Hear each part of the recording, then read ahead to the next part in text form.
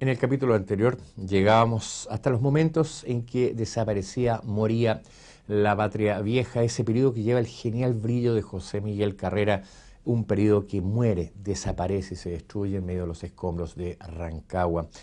El encono, las acusaciones entre ambos bandos, entre carrerinos y ojiguinistas, la lucha a rencores entre el propio José Miguel Carrera y Bernardo Higgins van a ser un abismo imposible de superar, un abismo que se hace cada vez más profundo, incluso en los momentos en que se inicia la retirada hacia la ciudad argentina de Mendoza. Quizás nos falte hoy la perspectiva para pensar en ese éxodo desgarrador. Familias que partieron con lo puesto, sin alimentos, sin ropa de cambio, arrancando de las primeras avanzadas realistas que cercaban Santiago.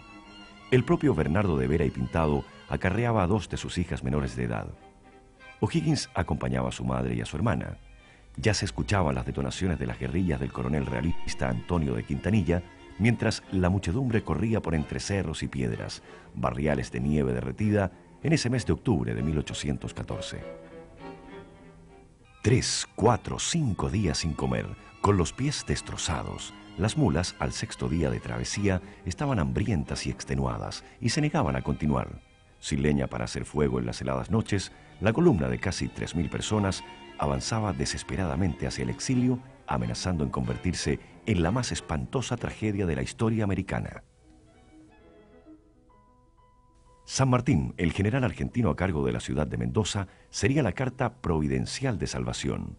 Intuyendo que la derrota patriota en Rancagua terminaría en un éxodo masivo, despachó de inmediato mil mulas y abundantes víveres que salvaron de la muerte a la masa de refugiados.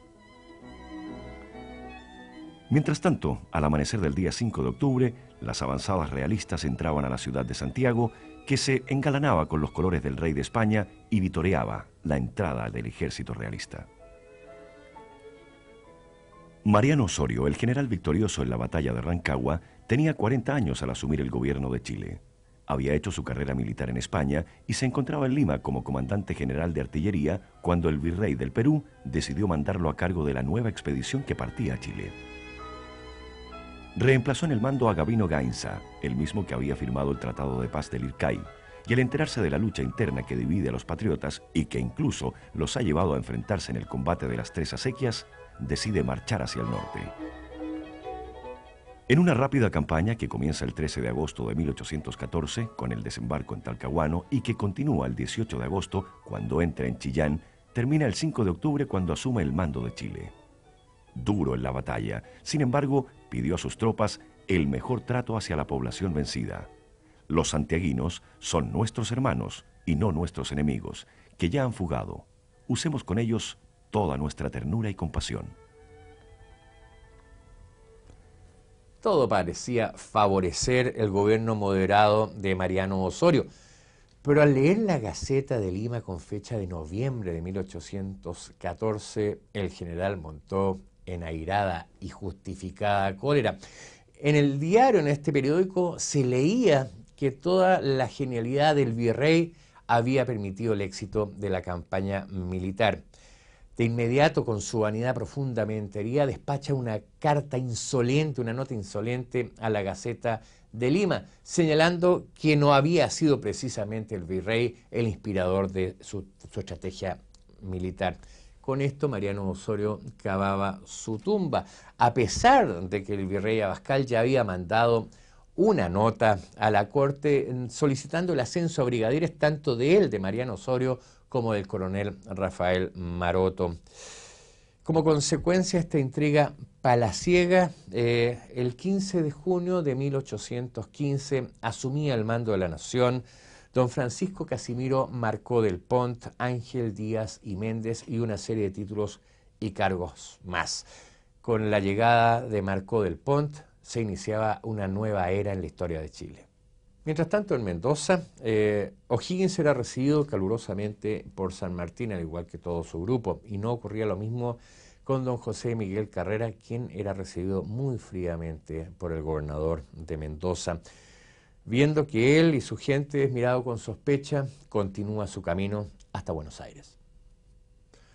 Un solo norte se dibujaba ahora en la mente de todos los guerreros que se encontraban establecidos en Mendoza, la libertad de Chile. En el resto de Latinoamérica la situación no era mejor ese año de 1814 porque casi todas las colonias que se habían alzado en contra del rey habían sido sometidas, con excepción en esos momentos de Buenos Aires. En 1813, un año antes de estos sucesos, Napoleón había autorizado el regreso de Fernando VII al trono mediante el Tratado de Valencé, y el deseado, como le llama el pueblo, regresaba dando un golpe de autoridad absoluta. Detiene a los diputados liberales, declara nulos y sin valor los decretos de las Cortes y la Constitución de 1812, reinstaura la Inquisición y termina con todo intento de reforma, constitucionalidad y liberalismo. En Europa, Napoleón Bonaparte vive sus días de ocaso. Obligado a abdicar, ha regresado nuevamente y durante 100 días intenta apoderarse de los territorios conquistados durante su imperio. Pero el 18 de junio de 1815, en los campos de la Belle Alliance, Waterloo, en Bélgica, sus ejércitos son derrotados finalmente por una coalición británico-prusiana. Es el fin del imperio de Napoleón Bonaparte y el comienzo del terror blanco en Francia. Los partidarios del antiguo régimen, monarquistas, inician la persecución de todos aquellos que habían participado en los tiempos de la Revolución Francesa y del Imperio Napoleónico. Verdadera casa de brujas, donde los fusilamientos y las detenciones se hacen incontrolables. El terror blanco terminaría finalmente en el verano de 1816. La batalla de Waterloo ocurría tres días después de la llegada a Santiago del nuevo gobernador don Francisco Casimiro Marcó del Pont. En Chile, el terror de la reconquista ha significado allanamientos de hogares, detención de los principales cabecillas que han quedado en el país y el traslado a la isla de Juan Fernández de los más destacados personajes de la patria vieja. En medio de la más absoluta pobreza tras dos años de guerra civil, el anterior gobernante Mariano Osorio había eh, colocado, había instaurado fuertes impuestos para poder mantener un ejército de 2.000 soldados que le exigía el virrey del Perú.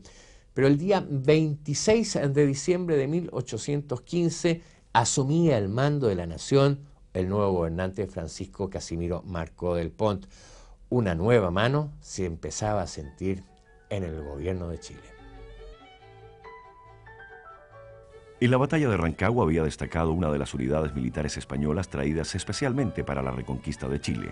Era el Batallón Talaveras, comandado por don Rafael Maroto y que contaba entre sus oficiales de mando al sargento mayor Vicente Zambruno, antiguo cura enrolado en el ejército español de resistencia contra Napoleón. Llegó a Chile con el grado de capitán de Talaveras y ahora se hacía cargo de la policía de la ciudad. Él había detenido a 200 prisioneros en el colegio de los jesuitas, de los cuales 42 partieron confinados a la isla de Juan Fernández. Entre los patriotas desterrados a las lejanas islas del Pacífico figuraban, entre otros, Juan Egaña, José Antonio de Rojas, Francisco de la Lastra, Juan Enrique Rosales, Ignacio de la Carrera, Mateo Arnoldo Hebel, el que había entregado su imprenta para la Aurora de Chile, y el futuro presidente de Chile, Agustina Izaguirre, entre otros. Vicente Bruno había sido el motor intelectual de la matanza de patriotas en la cárcel de Santiago y ahora asumía sin contrapesos su enorme influencia en el nuevo gobernador, Casimiro Marcó del Pont. Don Francisco Casimiro Marcó del Pont no contaba aún los 45 años y ya era mariscal de campo. A pocos días de asumir el mando, creaba el Tribunal de Vigilancia y Seguridad Pública, presidido ni más ni menos que por el temido capitán Vicente Bruno. Como una manera de demostrar la fuerza de la reconquista, ordenó la construcción de los fuertes del Cerro Santa Lucía. Levantó nuevamente la horca en la Plaza de Armas y proclamó la pena de muerte por cualquier conato de oposición. Al otro lado de los Andes, el general José de San Martín echaba a andar un vasto plan de liberación de Chile y desde allí hacia el propio virreinato del Perú. San Martín era poseedor de una fuerte personalidad, alto, de mirada penetrante y con un absoluto control de la inteligencia y la voluntad. Formado en España en las campañas contra Napoleón Bonaparte, había conocido las logias masónicas y se había integrado a la logia lautarina, fundada en Londres por el gran venezolano Francisco de Miranda. Al llegar a Buenos Aires, San Martín forma a su vez una logia lautarina. Había llegado a Mendoza cumpliendo un plan que él se había trazado desde mucho antes de la derrota chilena en Rancagua. Comprendía que las campañas realizadas hasta ahora a través del Alto Perú contra el virrey habían fracasado, pero a la vez servían de barrera para el avance realista hacia Buenos Aires. Estaba convencido que con un pequeño ejército que saliera de Mendoza hasta Chile, podría llegar al Perú en forma más fácil a través del Pacífico. San Martín había asumido el gobierno de la provincia de Cuyo, una provincia segregada de territorio chileno incorporada al nuevo virreinato de La Plata en 1778 y se encontraba San Martín precisamente organizando su ejército cuando se produce la derrota de Rancagua. De inmediato manda gran apoyo de mulas y alimentos para socorrer a los fugitivos. Y entre ellos encuentra en Bernardo O'Higgins un leal colaborador tanto en las campañas militares como en la administración de la provincia. Ahora había que reponer fuerzas para iniciar la liberación de Chile. Entre las figuras de los chilenos que han llegado hasta Mendoza, hay varios que llaman la atención de San Martín. Uno de ellos, José Ignacio Centeno, con una capacidad de organización impresionante. San Martín lo llama a su lado y lo convierte en su secretario. Otro personaje también importante en esos momentos es un abogado que había sido secretario de Estado en tiempos de José Miguel Carrera. Nos referimos a Manuel Rodríguez Erdoiza, quien en esos momentos empieza a convertirse en una leyenda. La figura de Manuel Rodríguez va a destacar con luz propia durante todo este periodo de la reconquista de la organización del ejército de los Andes. Descubiertas sus grandes capacidades por San Martín, inmediatamente lo convierte en espía y va a atravesar la cordillera una y otra vez para mantener absolutamente informado al general San Martín sobre todo lo que está ocurriendo en Chile. Sus aventuras, anécdotas increíbles, sus disfraces para arrancar o engañar a los talaveras y la audacia de haber organizado las guerrillas que desarticularon la resistencia militar realista son parte de esa leyenda. En uno de estos actos de extrema audacia, Manuel Rodríguez, que no conocía el rostro del gobernador Marcó del Pont, simplemente se disfrazó de mendigo, abrió la puerta del coche del gobernador y aceptó sonriente la moneda que éste le entregó. Pero Marcó del Pont estaba alarmado por otras informaciones. Tras poner precio a la cabeza del guerrillero, con una recompensa de mil pesos, se enfrascó en las medidas de defensa del territorio chileno, extremadamente largo y vulnerable a una invasión por varios pasos cordilleranos. El pueblo de Melipilla era asaltado por Manuel Rodríguez y el de San Fernando por Juan Pablo Ramírez. Bandidos como José Miguel Neira se sumaban a la causa patriota con el grado de coronel de milicias. Los jóvenes de la sociedad armaban sus propias montoneras, siendo el primero en morir su jefe, Juan José Traslaviña. Y el ejército realista tenía que dividirse para enfrentar por un lado a los guerrilleros y por el otro el probable ataque de una invasión desde la cordillera. Al 31 de diciembre de 1816, el ejército de los Andes, integrado por chilenos y argentinos, contaba ya con una fuerza de 4.045 soldados, incluyendo infantería, caballería y artillería, esta última integrada por cañones fundidos por el fraile Luis Beltrán en los hornos de Mendoza. Ya estaba todo listo, tropas disciplinadas y bien instruidas y uniformadas, un gigantesco operativo logístico para mantener alimentada la expedición durante el cruce un análisis palmo a palmo de cerros, montañas y quebradas para el avance y las más precisas instrucciones para la campaña y la administración de Chile una vez que éste recuperara su libertad. En una nota reservadísima del 17 de enero de 1817, el gobierno de Buenos Aires autorizaba a San Martín para nombrar al brigadier don Bernardo Higgins en clase de presidente o director provisional de Chile. Con una precisión propia de los grandes estrategas de la historia, el general San Martín dio inicio al cruce de la gigantesca cordillera de los Andes. El 9 de enero salía en dirección a San Juan el teniente coronel Juan Manuel Cabot, que con una partida de emigrados chilenos debía cruzar hasta Coquimbo.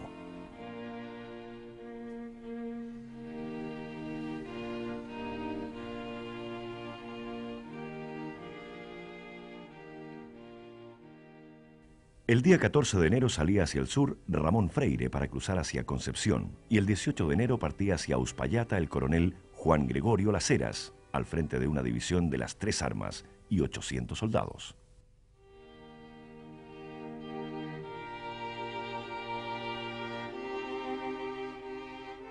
El 19 y 20 partía la primera división al mando del jefe del Estado Mayor, brigadier Estanislao Soler, y los días 21 y 22 salía la segunda división al mando de Bernardo Higgins. Soler y avanzaron hacia el norte por la altiplanicie hasta llegar al río de los Patos, en territorio argentino, de ahí un poco hacia el sur para alcanzar la máxima altura, 3.650 metros, sin producirse los temibles efectos de la puna que tanto se temía. El 2 de enero iniciaban el descenso para caer el día 4 sobre las defensas realistas de Achupayas y los Andes, en el lado chileno.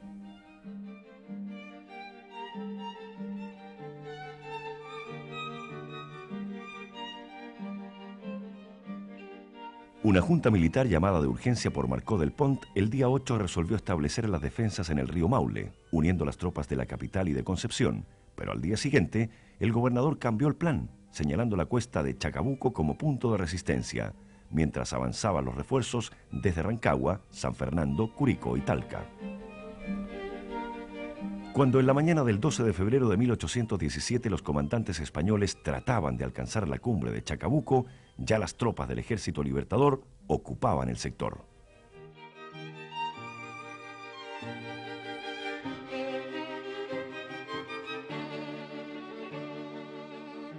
A las 11.45 de la mañana comenzó el avance de la división O'Higgins en dos columnas de ataque a la usanza napoleónica.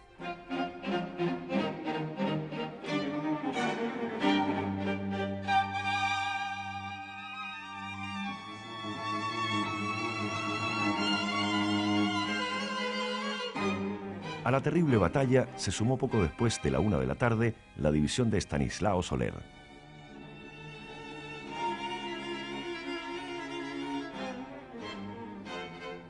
A las dos de la tarde terminaba el encuentro. De los 1.400 realistas quedaban 500 muertos, 600 prisioneros y el resto huía por entre los cerros.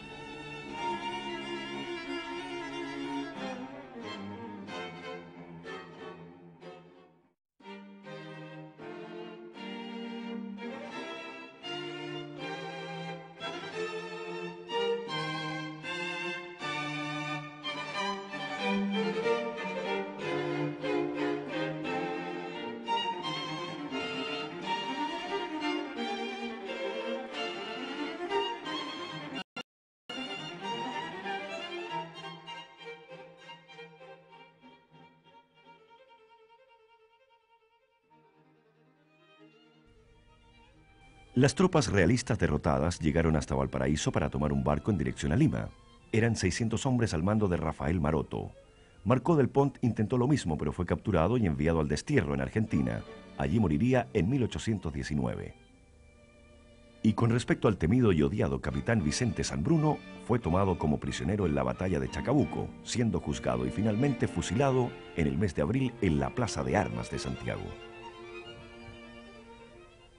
Parecía que con esta victoria terminaba el poder español en Chile, pero solo se había logrado tal propósito en las provincias de Coquimbo y Santiago.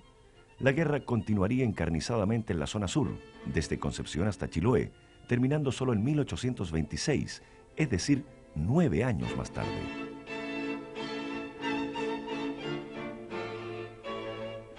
Los nombres de San Martín, O'Higgins y Manuel Rodríguez eran coreados por todo el pueblo e incluso por la misma aristocracia santiaguina. Tres días después de la batalla, el 15 de febrero de 1817, la masa proclamaba gobernante de Chile al victorioso general José de San Martín.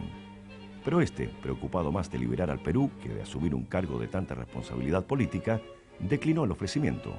Al día siguiente, 16 de febrero de 1817, Bernardo Higgins era proclamado como director supremo del Estado.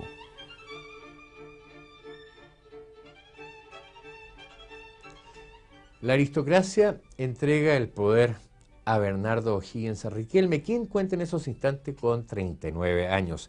Asume de inmediato ese poder porque ya empieza a incubarse una anarquía en el territorio nacional y por otro lado porque hay que preocuparse del nuevo objetivo de la nueva campaña, la liberación del Perú.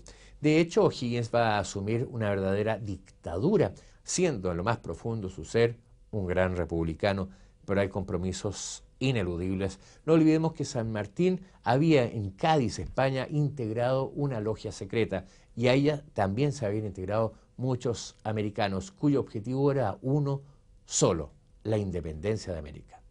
Ya en Buenos Aires, San Martín funda en 1812 la logia lautarina. Hace lo mismo en Mendoza en 1814, a la que se va a integrar Bernardo O'Higgins. No olvidemos que había conocido a Francisco Miranda en Inglaterra. Después de la batalla de Chacabuco, San Martín crea la logia lautarina también en Santiago. Sus integrantes le deben obediencia absoluta y no pueden tomar ninguna decisión sin antes consultar a la logia. Muchos de los grandes dramas que se van a vivir durante el gobierno de Bernardo Higgins tienen su origen en la logia lautarina. Su presión ilimitada sobre el director supremo solo va a disminuir cuando San Martín y las principales autoridades de la logia viajen hacia Lima. Pero la situación militar en Chile no se había resuelto después de la batalla de Chacabuco.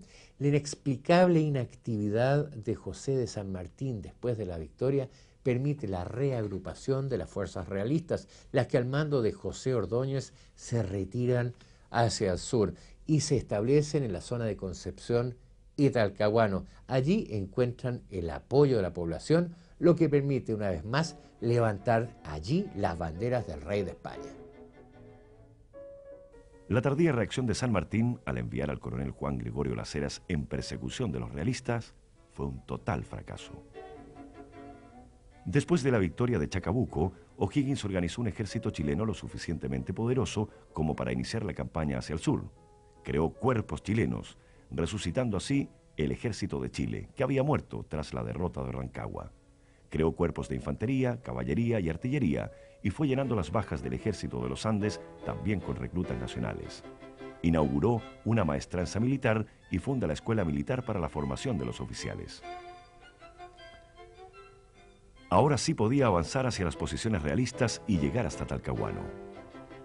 Una anécdota de aquellos días. En 1815 el ejército de Napoleón Bonaparte había sido aniquilado en Waterloo y los cientos de miles de soldados acostumbrados a estar en guerra por casi 20 años, buscaron nuevos destinos en las guerras americanas.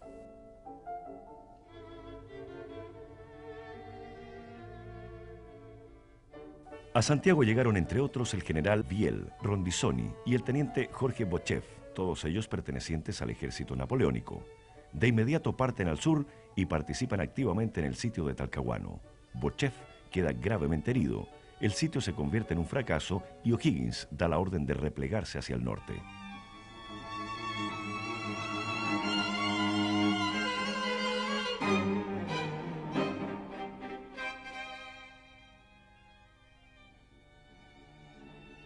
La nueva expedición española, al mando del ya famoso general Mariano Osorio y con 3.200 soldados de los mejores batallones realistas, sembró una vez más el pánico y la población penquista solo pensó en emigrar hacia la capital. O'Higgins sabía que enfrentaba una situación crítica y solo pensó en consolidar el concepto de independencia. Fue así que ordenó que en todos los cuarteles militares se abriesen los registros para que se inscribiera la gente que quería una pronta declaración de independencia. O'Higgins firmó el acta de declaración de libertad y el 12 de febrero de 1818 primer aniversario de la batalla de Chacabuco, se juró la independencia en medio del fervor del pueblo.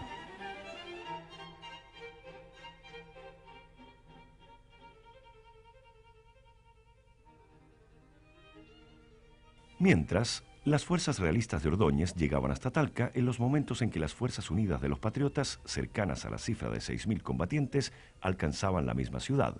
Ordóñez ordenó atrincherarse en dicha ciudad, mientras los patriotas acampaban en la llanura de Cancha Rayada.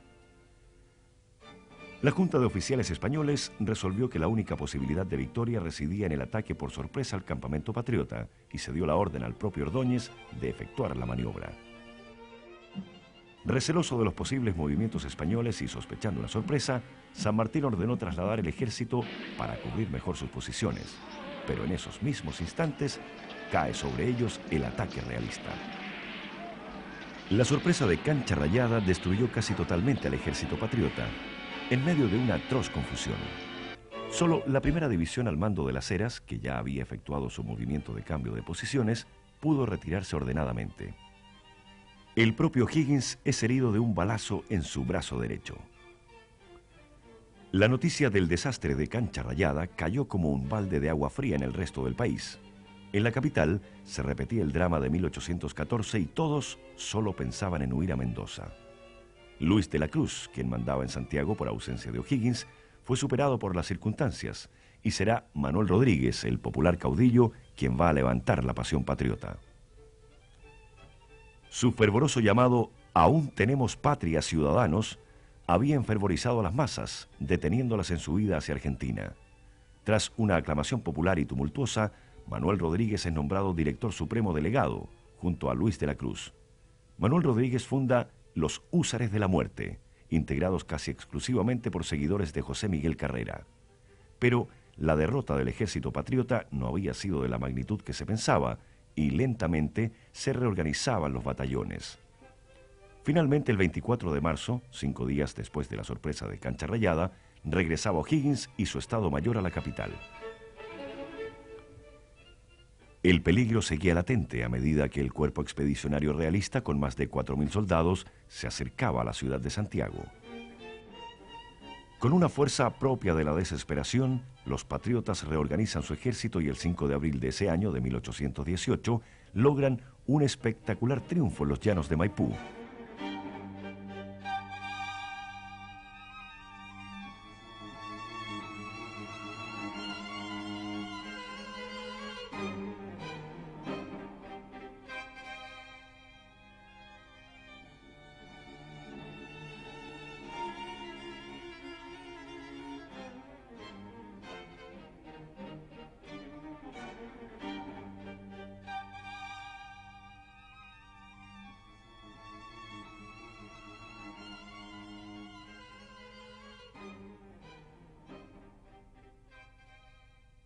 Mariano Osorio abandona el campo, resistiendo hasta el final solo el coronel José Ordóñez y los últimos batallones atrincherados en las casas de la hacienda de Lo Espejo.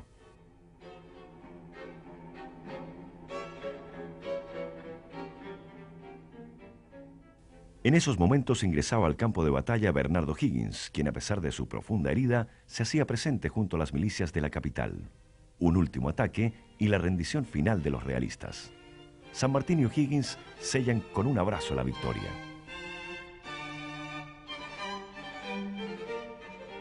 La independencia de Chile parecía absolutamente sellada, faltando solo consolidar el resto del territorio nacional. Pero desde Concepción hacia el sur, las tropas realistas que habían huido del campo de batalla de Maipú habían consolidado el territorio manteniéndola para las banderas españolas. Por lo tanto, los próximos pasos van a tener que ser la consolidación del territorio, primero en Valdivia y finalmente hasta Chiloé. Mientras en el sur eh, se iniciaba una guerra terrible, lenta, dramática, donde se mezclaba la guerrilla realista con la montonera indígena, O'Higgins iniciaba de inmediato su otra gran preocupación, había que ser la obra más importante, la liberación del Perú, y hacia ella va a encaminar todos los esfuerzos, porque es la única manera de consolidar así la obra americanista. Un país tan largo como Chile necesitaba asegurar el mar, y O'Higgins organiza la primera escuadra nacional, con siete naves adquiridas por los agentes chilenos en Estados Unidos e Inglaterra. Esta escuadra queda a las órdenes de Manuel Blanco Encalada, nombrado comandante general de Marina y jefe de la Escuadra Nacional. Y su primera acción es la captura de la fragata española María Isabel, que había llegado a Talcahuano con refuerzos españoles. Blanco Encalada asume como contraalmirante de la escuadra, siendo el primer oficial en alcanzar dicho grado. Pero a fines de año se hacía cargo de la escuadra el almirante Thomas Alexander Cochrane, marino escocés contratado por los agentes chilenos en Londres. Dueño de una audacia sin límites y profundo conocedor de sus marinos, hizo de los novatos aprendices chilenos expertos marineros. Tras fracasar en sus intentos de combatir a las naves realistas en el Callao, se dirigió hacia el sur de Chile. En Concepción consiguió el apoyo de Bochef y se enfrentó a las poderosas baterías y fuertes de Valdivia. La cadena defensiva más impresionante de Sudamérica. 15 fortalezas, 200 cañones y 1.800 soldados españoles. La única manera de conquistarla era usando el ingenio y la audacia. Con las tropas que le facilitó Freire en Talcahuano y los infantes de marina chilenos del inglés Miller, asaltó la noche del 14 de febrero de 1820 los fuertes que cayeron uno a uno en la maniobra más audaz de la historia. Bochef asumía el gobierno de Valdivia, mientras Lord Cochrane regresaba hasta Valparaíso para comandar la expedición libertadora. Cosas increíbles. Lord Cochrane fue amonestado severamente por haberse tomado los fuertes de Valdivia sin autorización superior. El 20 de agosto de 1820, natalicio del director supremo Bernardo Higgins, partía la escuadra al Perú. Esta tarea titánica merece un recuerdo. Un país deshecho por la guerra, sin recursos económicos, sin dinero para pagar ni a sus propios soldados, fue capaz de armar 18 buques de transporte, 7 naves de guerra y 4.500 soldados. Lo demás ya es conocido, la rendición de Lima y el ascenso de San Martín a protector del Perú. La desintegración de los batallones chilenos inmovilizados en la zona. La incorporación de muchos de ellos a las tropas de Simón Bolívar. Y finalmente, el enfrentamiento del todopoderoso Simón Bolívar y el no menos poderoso San Martín. Los dos personajes se reúnen en la ciudad de Guayaquil y en una sesión secreta estos dos hombres deciden los destinos americanos. Nadie sabe lo que se habló ese día de 1822, solo que tras levantarse de la sesión del segundo día, San Martín regresó a Lima, llamó a un congreso ante el cual renunció y se dirigió a Chile. Al llegar a Santiago, la situación aquí tampoco es muy favorable para O'Higgins, por lo tanto, San Martín continúa su camino a Mendoza. Allí la tranquilidad tampoco existe y toma la decisión final y se autodestierra viajando a Francia. Allí va a morir en 1850. Una vez ocurría la derrota del ejército patriota el primero y 2 de octubre de 1814, tanto el ejército comandado por José Miguel Carrera como el dirigido por Bernardo Higgins se dirigieron a Mendoza, más todos los civiles con sus familias que lograron trasladarse. En Mendoza se comenzó a urdir la amistad entre San Martín y O'Higgins. José Miguel Carrera queda de lado porque no está dispuesto a someterse a las órdenes de José de San Martín y tiene sus propios planes independentistas. Pero entre estos dos próceres, San Martín y O'Higgins, como digo, se estructuró una noble amistad que les permitió formar conjuntamente el Ejército Libertador de los Andes, triunfar en Chacabuco, triunfar en Maipú y enfrentar al resto del ejército realista que se recogió hacia Talcahuano y Concepción. Más tarde O'Higgins, como era el compromiso, afrontó la tarea de formar la Escuadra Libertadora. En esto desarrolló un gran esfuerzo financiero, físico y político. En calidad de director supremo tuvo que superar innumerables problemas pero finalmente logró cumplir con el compromiso. Se contrató a Lord Cochrane en Londres para que dirigiera la escuadra chilena y San Martín comandaría las tropas que lucharían en tierra. Así en 1821 fue posible conquistar Lima y los limeños lograron declarar su independencia. Durante todo este proceso, lo más notable que quisiera destacar es la amistad entre San Martín y O'Higgins. Eran dos hombres muy parecidos. Eran dos hombres solteros. Viajaban a todas partes con su familia más cercana, su madre, por ejemplo. Ambos eran austeros, no buscaban la gloria. Hubo amistad real entre ambos, aunque San Martín tenía un carácter muy superior, diríamos. Era un prócer de mayor envergadura y O'Higgins le brindaba amistad, según lo testimonian todos los epistolarios conocidos. Pero realmente hubo amistad y San Martín también llegó a admirar a O'Higgins. Fue su verdadero colaborador en los planes independentistas. Sin embargo, esta amistad que llevó incluso al alto mando a pensar en un momento en federar a ambos países, en crear una unidad política superior, incluso, como se sabrá, San Martín tenía planes monarquistas, crear una monarquía en el cono sur que por supuesto incluía Chile.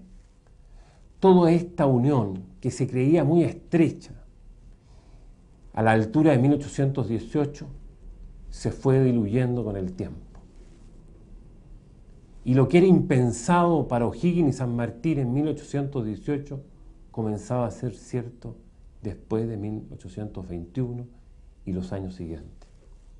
Porque cada nación siguió caminos separados. ¿Y por qué siguió caminos separados? Porque los grupos dirigentes, no digo el alto mando del ejército, sino los grupos dirigentes, las élites políticas, de los respectivos países vieron en el país vecino un amigo, pero no un igual. A los chilenos, por ejemplo, molestó mucho la injerencia que tuvo una entidad secreta llamada Logia Lautar o Logia Lautarina, formada por, mayoritariamente por argentinos, pero también por chilenos, entre los cuales estaba, por cierto, San Martín y O'Higgins. Como digo, la injerencia de esta entidad mayoritariamente argentina en asuntos chilenos molestó a la clase dirigente y lo vio como un factor de desconfianza. Porque a esas alturas, en Chile, en sus grupos dirigentes, había surgido un sentimiento, el sentimiento de nacionalidad. Chile era una nación obtenía un proyecto de nación en la mente de esos grupos dirigentes. De tal manera que la unión tan natural para estos próceres no fue posible, por algo también natural, que en Chile surgiera el espíritu de nacionalidad paralelamente al proceso de independencia. Por lo demás, igual cosa ocurría en Argentina. Bolívar asumía el mando total del Perú y terminaba la obra iniciada por San Martín, continuada por O'Higgins y realizada gracias al esfuerzo económico naval y militar de Chile. Pero el costo había sido enorme y la popularidad del general O'Higgins, del héroe de Rancagua y Chacabuco, había descendido a niveles peligrosos. El general O'Higgins creía que leyes sabias eran capaces de cambiar a corto plazo las costumbres de los pueblos pero ahí había nacido el fracaso, sus leyes que prohibían las riñas de gallo, las peleas, de las corridas de toro y los juegos de azar. Intentó incluso suprimir los mayorazgos y terminar con los títulos nobiliarios, pero por otro lado creaba la Legión de Honor con muy malos resultados. Convencido de la idea de que los adelantos materiales significan, implican la felicidad de los pueblos, va a iniciar una serie de obras importantes. Va a fundar un mercado de abastos en un basural que queda al costado oriente del puente de Calicanto. Transforma otro basural, La Cañada, en un paseo de álamos, la Alameda. Dispuso el alumbrado de las casas colocando lámparas en todas las puertas de los vecindarios y finalmente también va a fundar el cementerio general. Así como su padre, el gobernador Ambrosio Higgins, don Bernardo Higgins va a ser también un gran realizador.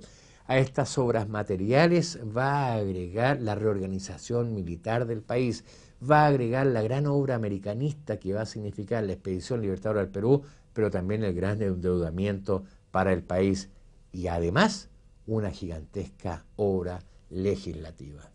Después de la batalla de Chacabuco, don Bernardo Higgins es nombrado director supremo de la nación, una verdadera dictadura en el fondo. Pero después de Maipú, la misma aristocracia que lo había ungido director supremo comienza a exigirle una nueva constitución. Al principio, O'Higgins rechaza la idea, pero finalmente él mismo va a proclamar la llamada Constitución del año 18. Esta constitución, entre otros detalles, entregaba al director supremo el mando indefinido de la nación, a la vez que entregaba el poder legislativo a un Senado conservador, integrado por cinco miembros propietarios y cinco suplentes.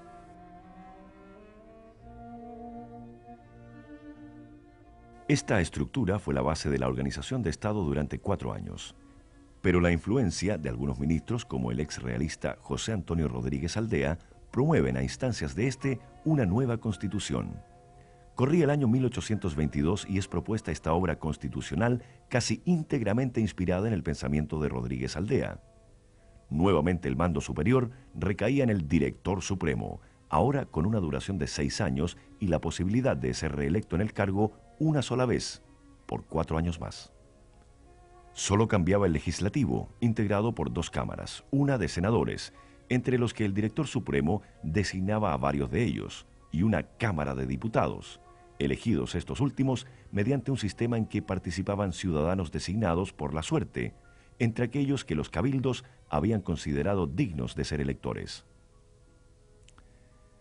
Esta constitución entró en vigencia en los momentos en que la dictadura de O'Higgins se derrumbaba en medio de la crisis institucional. El gobierno de Bernardo Higgins se había sustentado en la fuerza militar, lo que le permitió realizar su obra, pero no consolidar un régimen estable. Esa sería más tarde la misión de Portales. Existían además odios creados por las tropelías de muchos de sus funcionarios. A esto debemos agregar el asesinato de Manuel Rodríguez y los fusilamientos de los hermanos Juan José y Luis Carrera en Mendoza, tres días después de la victoria de Maipú, y el fusilamiento también en Mendoza del líder de la patria vieja, José Miguel Carrera, en 1821. La aristocracia había sustentado a O'Higgins más que nada por temor al regreso de los Carrera, y no por simpatía hacia él. Al desaparecer el temor, simplemente le dieron la espalda al dictador que habían apoyado. Como complemento de cualquier análisis que pretenda hacerse sobre la significación histórica de don Bernardo Higgins y de su gobierno, conviene considerar previamente aquellos antecedentes relativos a su formación intelectual. Los estudios de don Bernardo Higgins, que no son muy conocidos, se inician cuando su padre, don Ambrosio Higgins, determinó que se le trasladara desde la casa de don Juan Albano en Talca, a quien se había encargado su crianza, el año 1788 para que fuera enviado al Colegio de los Naturales en la ciudad de Chillán, un colegio regentado por la Orden de los Franciscanos. Pero la permanencia de don Bernardo Higgins en el Colegio de los Naturales, que tuvo una duración, como ya hemos señalado, solo de dos años, fue dedicada fundamentalmente a su instrucción en las primeras letras. Pero el año 1790 su padre dispuso que se le trasladara a continuar los estudios en los colegios limeños, que eran considerados los mejores colegios de América. Desde Lima, don Bernardo, también por disposición de su padre, fue enviado a Europa con el propósito inicial que allí pudiera educarse y dedicarse especialmente al comercio. El apoderado de don Bernardo Higgins en España, en Cádiz, el puerto eh, más importante de España en su relación comercial con América, fue don Nicolás de la Cruz. Don Nicolás de la Cruz eh, estuvo facultado por don Ambrosio Higgins para eh, costear los estudios sin preocuparse de su valor donde don Nicolás de la Cruz dispusiera. Parecía lógico que don Bernardo se educara en España, en Madrid o en Cádiz, donde residía su apoderado, pero este decidió enviarlo a Inglaterra o a Italia, decidiéndose finalmente por enviarlo a Inglaterra. Don Bernardo debió trasladarse a Londres, dejando el colegio de Richmond.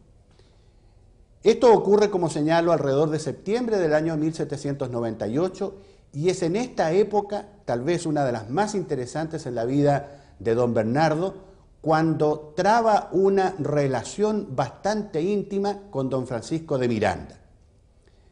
Algunos historiadores han supuesto que esta relación fue muy amplia. Vicuña Maquena cree que eh, a lo menos la ah, relación que menciono con Miranda duró aproximadamente un año y medio.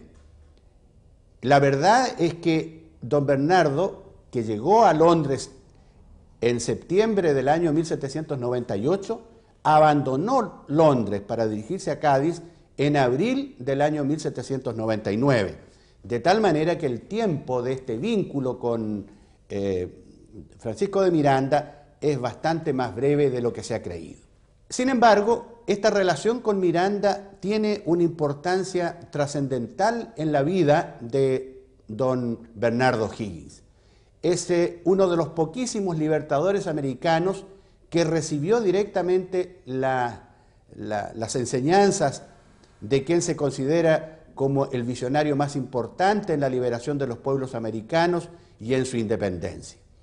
Solo Bolívar posteriormente, muchos años después, conoce a Francisco de Miranda, pero las enseñanzas de joven recibidas por don Bernardo entre los 20 y los 21 años marcaron su existencia futura particularmente en el sentido eh, de republicanismo tan absoluto que mantuvo O'Higgins en su condición de prócer de la independencia. Debe recordarse que fue tal vez el único de los hombres de la Revolución Americana que siempre mantuvo de manera invariable la idea de que estos pueblos se constituyeran en repúblicas y rechazó toda tentativa de formar eh, gobiernos sobre la base de, miembros eh, de la nobleza o de la reyesía, como se pretendía hacer con Chile, con Argentina y con Perú por idea de San Martín. Ya nada, ni nadie podía salvar al gobierno del director supremo Bernardo O'Higgins Riquelme. En la ciudad de Concepción, el ejército sin paga desde hacía varios meses se va a alzar en rebelión y va a nombrar como cabecilla del movimiento a Ramón Freire. Freire había renunciado recién al cargo de intendente de Concepción con el que había sido designado por considerar que esta designación provenía de un gobierno que no tenía valor legal. La Asamblea aceptó la renuncia, pero de inmediato lo proclama nuevamente como intendente de Concepción, pero esta vez señala lo hace a nombre de la soberanía popular. A fines de diciembre de ese año de 1822, el ejército del sur iniciaba su marcha hacia la capital. Desde el norte, en Coquimbo, se anunciaba que las provincias nortinas también se plegaban al movimiento revolucionario. Así las cosas, se reúne en Santiago un cabildo abierto que le pide al director supremo Higgins que renuncie. El 28 de enero de 1823, en un gesto que lo enaltece y para evitar la guerra civil, el director supremo de Chile, el héroe de las batallas de la patria vieja y la patria nueva, abdicaba al poder.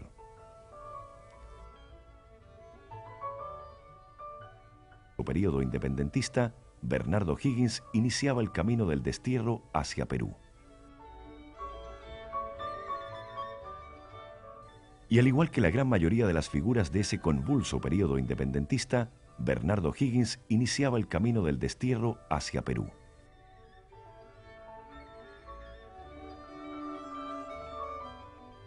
Chile, con la ausencia ahora la dura mano, la firme mano del férreo gobierno de Bernardo Higgins, abría sus cauces a una nueva convulsión, al periodo que la historia conoce como la anarquía. Pero ese ya es el tema de nuestro próximo capítulo.